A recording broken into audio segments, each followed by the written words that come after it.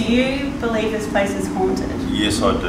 I do. There's been murder, there's been a couple of really horrific deaths as well. Underneath the Adelaide Arcade. Okay, so I was walking uh, towards the stairs. There's a small child known as Sydney. But he sort of vanished out of my view. Something that looks wispy coming through. Yeah, we have figures seen here, the equipment goes off. Can you walk up and down the stairs? Thank you.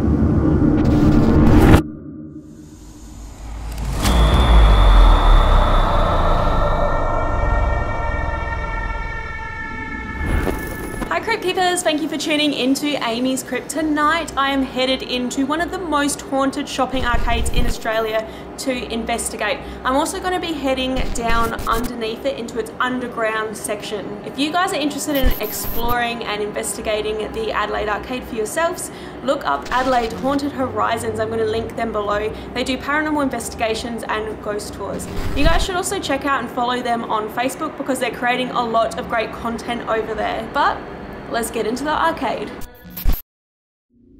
The Adelaide Arcade dates back to 1885 and today remains a boutique shopping destination. The arcade's shockingly brutal history of death makes it an unlikely haunted location. In 1887, the then caretaker of the building, Francis Cluney, was mangled and killed in the arcade's generator. Later, in 1902, a toddler by the name of Sydney died within the mall from inhaling excess amounts of coal gas. Finally, in 1904, a woman was murdered just out front of the notorious shopping destination. Many people believe that each of these deaths could help explain why the Adelaide Arcade is so haunted. Tonight, we set out to investigate some of the most active areas of the arcade. These include the underground rooms where child spirits have been heard and the area where Francis Cluney met his dark fate. Alright guys, so we're just headed to the Adelaide Arcade right now and it is probably not the type of arcade that you are thinking of. You need to think of this place more of a shopping mall. So it's actually very old, it's the oldest shopping arcade in Australia and you'd think, oh well, just a bunch of shops, why would this be haunted? But seriously guys, when we get there and you hear about the hauntings and the stories and the true history of this place, it's gonna shock you. This place is very intense and I'm very excited to highlight it on Amy's Crypt.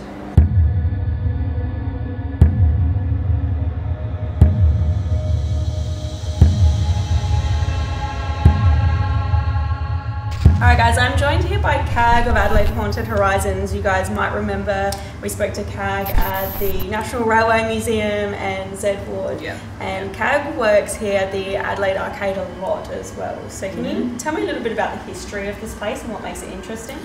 Um, well, it was built in 1885 at the boom time um, for Adelaide, and we've had um, quite a few dark things happening here. So, um, a couple of there's been murder, there's been um, a couple of really horrific deaths as well. So, and it seems to well, one in particular, one person in particular, seems to still be here. Can you tell me a bit it. about that person? That's Francis Cluney. Yeah, Francis Cluney, he was the Beadle, or ta- caretaker here, and he died here in 1887, just two years after the building was built. Um, and he unfortunately uh, fell into the generator that used to work the electric light.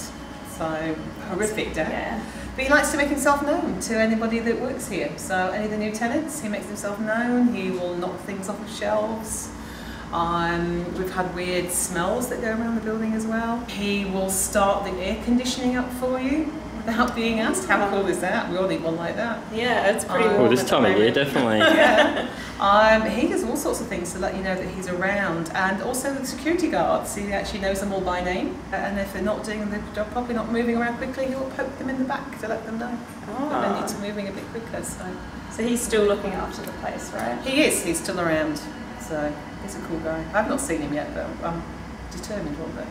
Yeah, hopefully. Fingers crossed for you. Yeah. And he's not our only spirit at the arcade, is he? No, he's not. No, we also have a child here, little Sydney.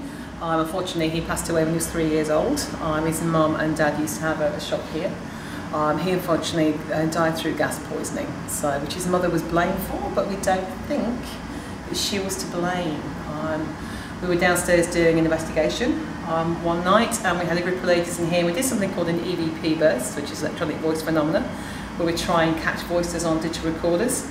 Um, one of the ladies uh, did ask a question um, about do you play with some buttons on the stove, and he replied. So we might actually know now what happened to it. Oh, wow. How about uh, this tea room down here? What kind of phenomena kind of happens down here? Uh, we've had people touched, prodded and poked. My favourite time was in here that just before the tour came in, I actually walked, walked around here and said, look, is anybody here tonight? Can you please, please, please play with my group tonight and just try and freak them out? The first three people that walked in here were young ladies. The first one had a hand touched, the second one had a, a, a top pulled down, and the third one had a leg played with as well. And I was like, yes. That's cool. Uh, but yeah, we have figures seen here. The equipment goes off um, for no apparent reason, and it loves the musical box in here. The paranormal musical box loves it. So I like that too. and there's another place that you've had a few experiences, the old the storeroom. Oh, the storeroom upstairs. That's really good. I love that one up there. Um, yes, we've had all sorts of weird things happening here out there, and we, mostly to do with the door. It, for some reason, wants to lock myself and the security guard and the group in the room, and there's no reason why it, the door should lock. Um, you can open it enough to see there's nobody's pulling the handle on the other side, um, but you, just, you just can't get it to open. Um, we've had to do something that I found really difficult was actually to say, whoever's there, could you please release the door, which I found really strange to do. Yeah. But that's the only way we could get the door to open. Um, so it's actually opened my mind now to different things, asking different questions. So Oh, that's really interesting. yeah, because I was always closed off to that sort of thing, but now it's happened to us twice. So now we don't lock the door, we don't close the door now. In the storeroom, we leave it unlocked. I don't blame you. yeah, exactly. And if someone wants to come to the Adelaide Arcade after hours and do a ghost tour or maybe a bit of an investigation, how can they go about doing that? Come onto our, our website, adelaidehaunted or onto our Facebook page, onto the book now, and come and join us. We do tours here practically every fortnight, and we do um, more investigations every two or three months. So it's really good fun. I It's highly recommend it, guys. It's really cool. Alright, guys, I'm now joined by Peter, who is one of the security guards here at the Adelaide Arcade. Can you tell me how long have you been working here for? Uh, approximately 10 years I have been here. Wow, a long time. Do you believe this place is haunted? Yes, I do. I do. Very much so. Even my first day I was here, um, had a little experience with the alarm, and probably a couple of months after that, I actually saw the figure, Francis, um, window shopping. I went to approach him to you know, show him the way out, but he sort of vanished out of my view, and and then I then I knew that was him, Wow, just yeah. disappearing. That's Yeah. amazing that you saw him and you've been here for so long. Francis knows you by name. He does, right? he does. So apparently uh, was in our bathroom upstairs in the office and I was just happened to be washing my hands at the time and uh, my name gets called out so I actually responded and I said yes, hang on a minute. And then it, I sort of looked in the mirror and I knew then that there was no one else except him to say Yeah. hello. And I sort of freaked out a bit, a bit about that. So yeah, Understandably. Mm, I did. Do you have any other experiences that you've had here that have really stuck out to you? Um, probably, you know, just uh, sort of poked in the back. Um, it normally happens when I'm here alone, when I, I'm the last person um, off the premises. Uh, even when I walk into my office, even now, I sort of get uh, goosebumps and my hair rises on, on the back of my head. And I just walk in there and I say, hello, Francis, and that's it. It's pretty cool. So he's alright, he's friendly. you get Yeah, he's friendly. You know, he loves playing jokes, especially uh, electrical equipment and that, like hand dryers perhaps, um, lifts as well. Ah, He likes scaring contractors on site as well. yeah, they sort of freak out when they hear footsteps behind them and they're working up in the air conditioning uh, roof. Yeah. ah. So you have had other people come to you and tell you about their experiences or strange stories here? Yes, mainly uh, the people who actually work here, like staff and all that. Um, they tell me the, the uh, girls' toilets are haunted. Uh, the last cubicle, they could be in there by themselves, and uh, they see a shadow walk underneath the door. And the hand dryer will come on on its own, and it's it's staff only, so they know they're only in there on their own. Yeah. Mm. Oh, That's truly strange. it is. Yeah. Well, thank you for your time. That makes me really, really excited to investigate Yeah. the Adelaide Arcade. It's an amazing location. So, It's a pleasure. yeah, cheers. Thank you. Okay, guys, so we've just made it underneath the Adelaide Arcade, and this is what is known as the tea rooms. And I'm super excited because I've never been down here myself. I've never actually been able to get down here, but it's supposed to be haunted. I do just want to show you guys around though because there's a couple of areas that are interesting. First being this staircase here. And I just think that this staircase is so pretty and kind of creepy, like how the shadows move and stuff. See that on the wall.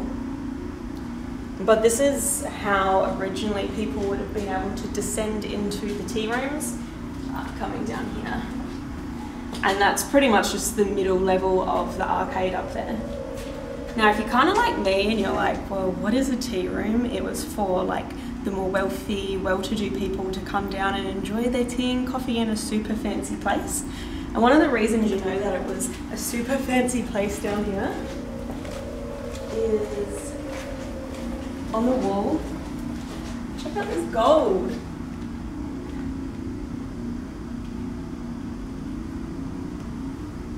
There's not too much left of it, but there is a fair bit here. And then another cool point of interest just back here is a little well. So that would have supplied the water above, and it's like a little spring there, so you can actually see the water. There's a couple of interesting things said to happen down here in this area, so we're going to jump right into our paranormal investigation. Alright, guys, so we're just setting up to start the investigation. Obviously, I'm going to go with some cat. I've got one here, and then I've got a couple more down the staircase. Reason being, if those things get physically moved, they'll light up. And we also have a REM pod here, so that will go off if anything gets close to it. Obviously, we want to, you know, pick up if anything is coming up or down the staircase. We also have this uh, doodad here, which is A periscope. a, a par- periscope. Periscope. Periscope, and that does uh, static electricity, and it can almost like follow it around with these prong things here. And our other thing that we have with us in the corner is Alison. It's me. You Here I guys, am again. you guys know Alison by now. She's been in a lot of my videos and helped me with a lot of uh, the haunts in Adelaide. She runs Adelaide's Haunted Horizon. She's great. She's just setting up the paranormal music box So here. you've had this in your shows before, so that plays music if you should do anyway. there you go. So if you break the field, basically it's going to go off and let you know. So yeah, there's a Yep. beam coming in front of this. Yeah, it'll still pick you up at that distance. Oh, it will? Yeah. So, just in case do that. It's just finding the right angle so it's not bouncing off anything too much. So I mean, if anything comes down these stairs, we got them covered. We're gonna get them.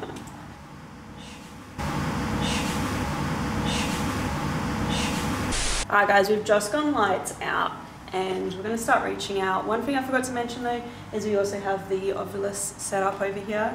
So if anything goes around that, it measures changes in its environment and that could correlate to a word in a database and it could talk to us. It could, it could try and communicate and say something which would be very, very cool. But we're going to start reaching out. Now, there's been a couple of um, deaths and uh, supposed hauntings here at the arcade, and one of them is a small child known as Sydney. And people, you know, it's believed that Sydney interacts with people in the tea room. Am I triggering this, Alison? Oh, wait, checking. Oh, no, you're not close enough. Okay, so I we was walking had- towards the stairs. No, you weren't close enough. You've got to be pretty much on top of it. Oh, that's very cool. People in the tea room. Am I triggering this, Alison? Oh, wait, checking. Oh, no, you're not close enough. Okay, so I we was just walking had- towards the stairs. That was when I was talking about Sydney, the small child here. If, if Sydney is around, can you come back towards um, that thing that just lit up? If you can come back towards it again, we might be able to tell that you're here.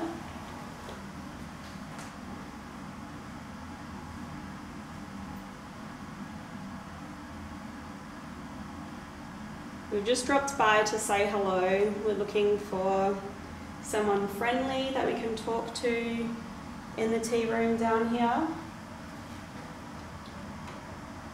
If there is anyone around, can you come and meet us? Come down the stairs, come into the old tea rooms.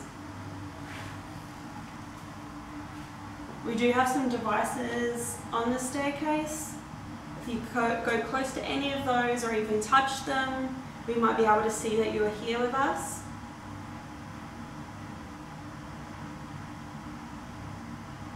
Sydney, if you're here, remember the music?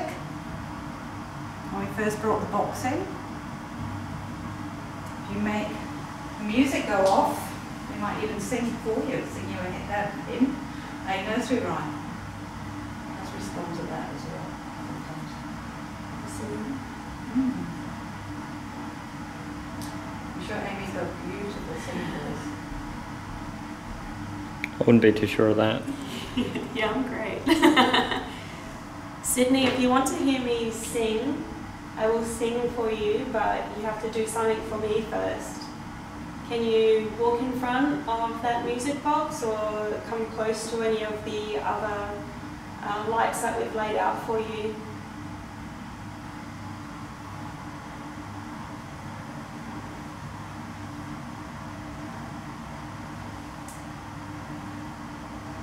You make a noise for us, Sydney? Can you tap on something? Maybe it's not Sydney that we have, maybe we have Francis.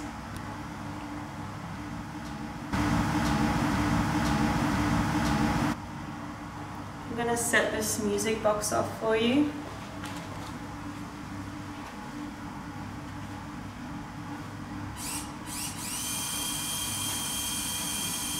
It's not singing.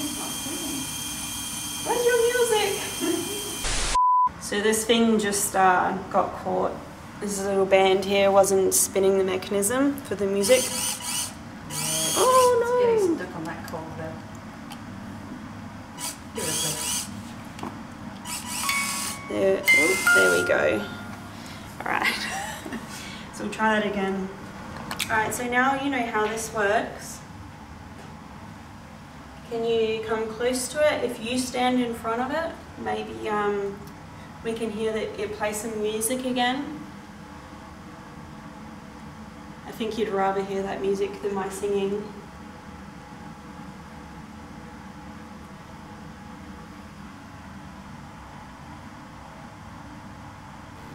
If anyone can hear my voice, my name is Amy, and I would love for you to come and join us down in the tea room.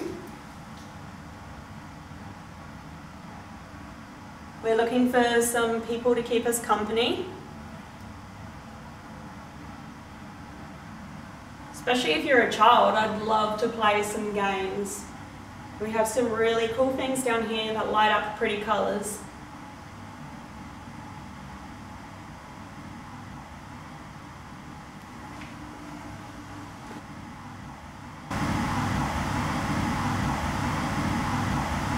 Can somebody come and join us on the staircase?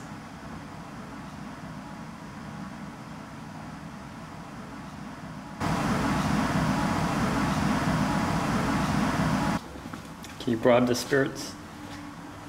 Oops, that's my brain here. Alright. There was a coin. Oh, a shiny coin. I think it's a penny. On the little box on there that's got the red top. If you can get that penny off there, then you can keep it. You can do what you like with it. You can go and buy some sweets, some lollies. But you just need to be able to get it off there first. Alright? You try really hard.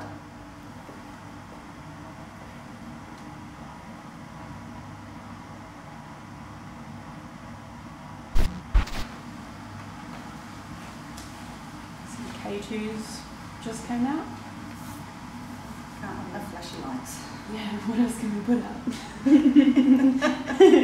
put everything out. Alright, what if we bring you, bring? What if we sing you a nursery rhyme? You remember the one you used to like and used to put these K2s, used to light them up whenever we sang it? I haven't been in for a long time, so I don't know if they still sing it to you, Sydney. But we used to sing you Twinkle Twinkle. And you used to set those K2s off. So Amy's going to sing to you now. Twinkle Twinkle Little Star. I You don't even know them. You had a deprived childhood, didn't you? I just haven't been around kids since I was a kid, so I don't know what. Right, it goes a little like this. Twinkle, Oh, that's the- twinkle, little star, how I wonder what you are. Up above the world so high, like a diamond in the sky. Twinkle, twinkle, little star, how I wonder what you are. Was my singing so bad that you don't want to come down here? Please don't tell me that's the case.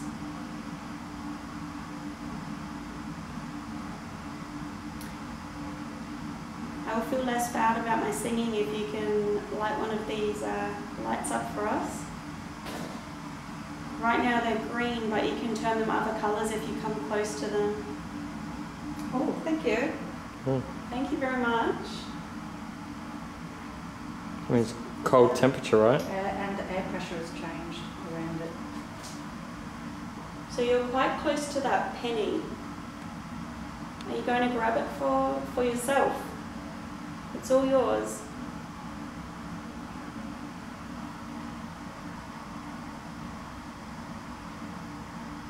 We won't judge you if you want that penny. Just a few more steps up.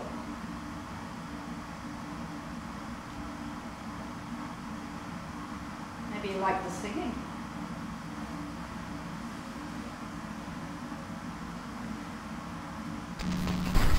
Do you want to go down there, Jim? Go where?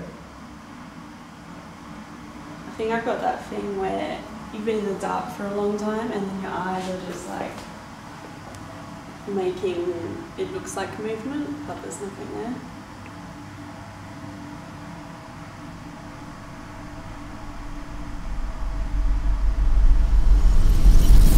It was I can't see it when I look at it, but when I'm focused over here, it's more just something something that looks wispy coming through. But you know when it's so dark that there's not enough light for your eyes to pick up on anything, so it kind of looks like everything's moving anyway. It doesn't look like anything in particular. Only because I thought, yeah, just over on the back wall like shadowy movements, but didn't know it was something. Oh, you felt like you could see something too. Yeah, that wasn't the same thing. I thought, well, Yeah. yeah, I thought the same thing, it's probably just light. Yeah. So we're just like a, I don't know where you were seeing it, but I was seeing it more over in that direction, kind of daily from you. Mine was kind of like this, this way. Um, so just so you guys, I mean, you're just seeing what the camera sees, and the camera has a lot of infrared lights on it right now. So you can probably see this room really crisp, but we're actually standing in complete darkness besides a couple of small LED lights that are around us. So there is the tiniest little bit of light that our eyes can pick up. But I mean, looking down into a dark room with very minimal light is easy to see see things that aren't there. but I wouldn't say it looked definite or like anything. So if there is someone back there in the back of the room, you don't have to hang out back there. Maybe come and join us over here. So guys, it has been pretty interesting down here, not only because this is my first time ever in the Adelaide Arcade tea rooms, and it's just a cool hidden gem in my own city of Adelaide, but we did get a little bit of activity. We had the static meter uh, go off for no particular reason, and then after I sang uh, nursery rhyme, we also had the air pressure and the temperature drop on the staircase. That was pretty interesting. We missed it on camera, but Jared said that he seen one of the K2s light up as well after we'd been asking that to happen. Now, there's a lot of other places around the arcade to explore and so much ghostly phenomena that goes on here, so I'm excited to get back upstairs. Also, quite a lot of paranormal activity is said to happen here. My head felt funny and I had footsteps. Area where he died. Oh, it's creepy. Oh, poisoned. That's interesting. He unfortunately uh, died through gas poisoning. Really, really weird things. I think it just like knocked me a bit. That was weird. Probably the most active spirit here as well. Can you say one of our names?